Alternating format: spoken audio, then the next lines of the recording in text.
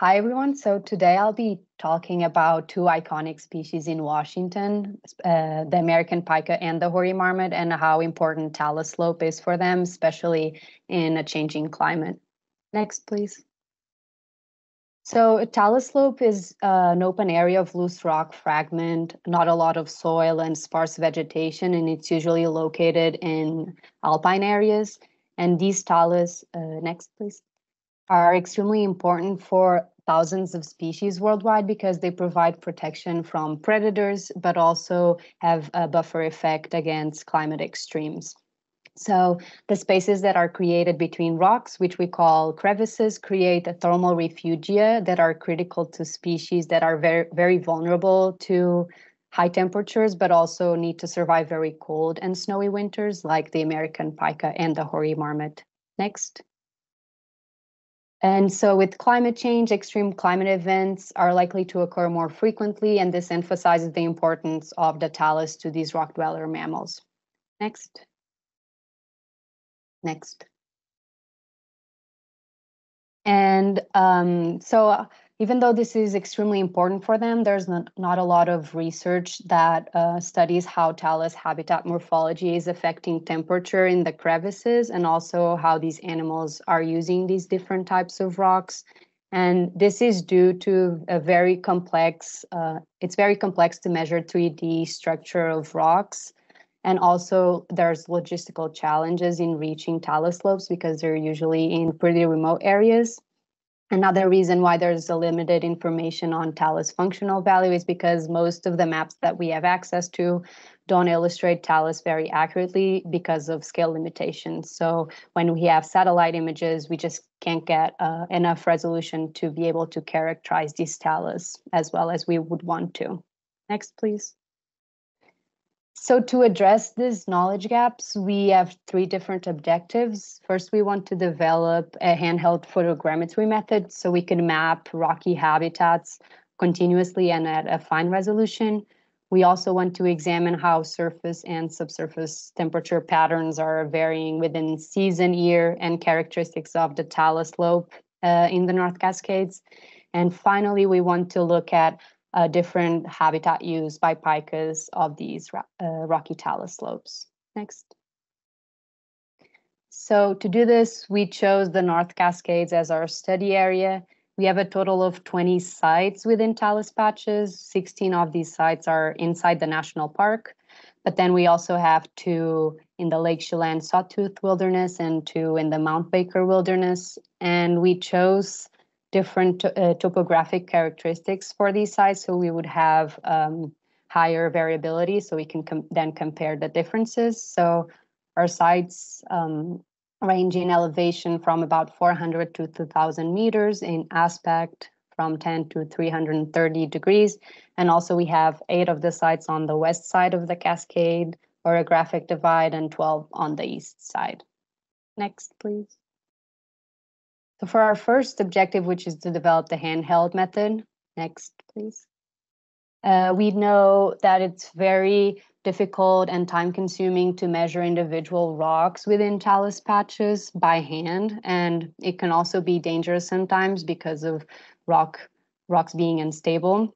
So we wanted to develop this handheld method so we, we can collect data that's very detailed and uh, from that um, data, we are able to automate rock size and shape measurements. So this not only increases field safety because we're able to do all of those measurements from our computer in our lab, but also increases the amount and the detail of talus that can be measured because it's a lot faster than doing it in the field.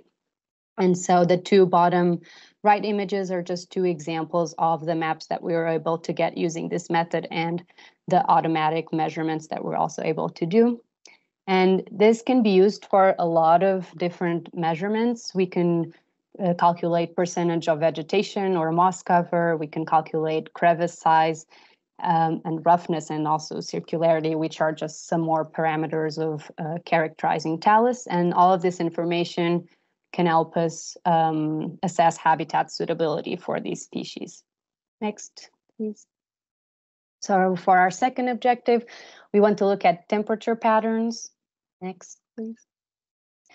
And So to do this, we have deployed two temperature loggers in each site. One is at a surface level and another one is inside a crevice under the rocks. So we want to look at um, differences between the surface and the crevice temperatures to see if we can confirm that crevices do act as a thermal buffer for these species.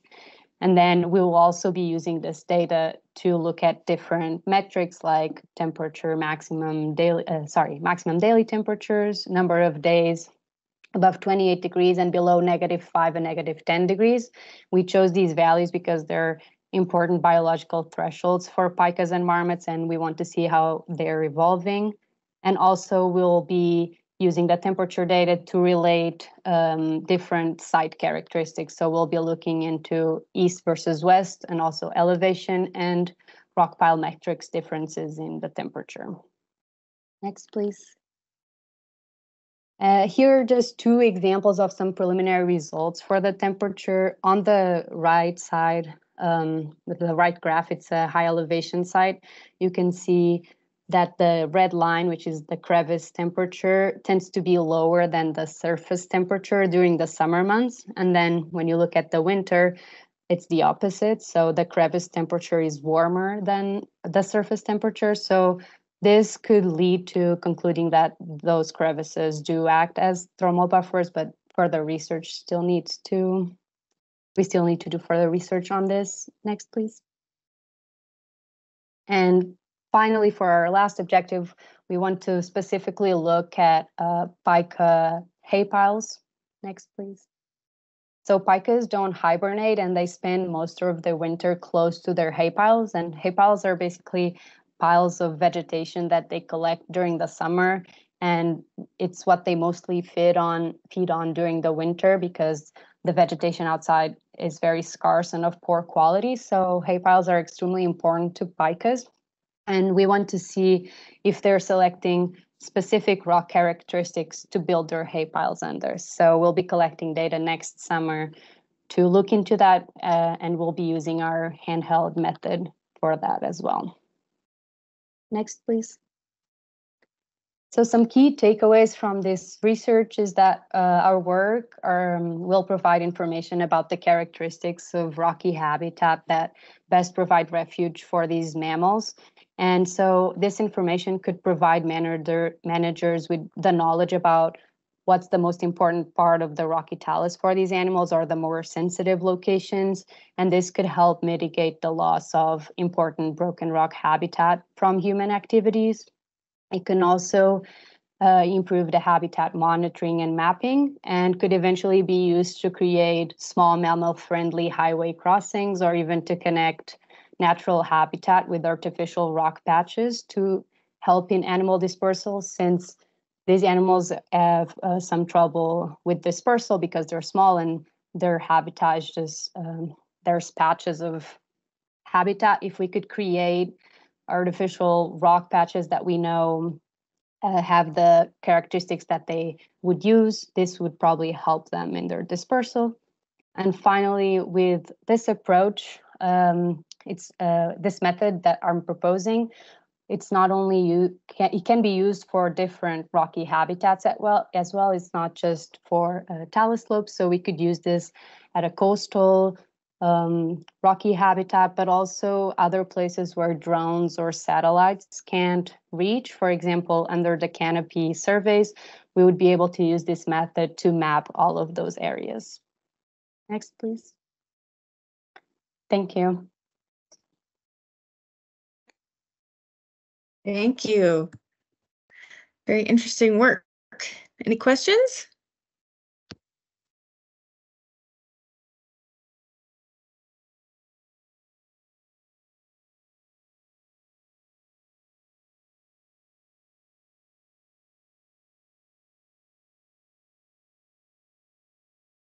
I think the bat biologist may be very interested in your work going down the road. Oh, I see a question. Uh, there's a question. Yeah, is this structure from motion photogrammetry? Yes, yes, it is. How high above the substrate was the ca camera? Uh, it was about two meters high. I will be releasing a methods paper soon with all of this information too. So if you want to reach out to me by email, I can also answer some more questions. Great.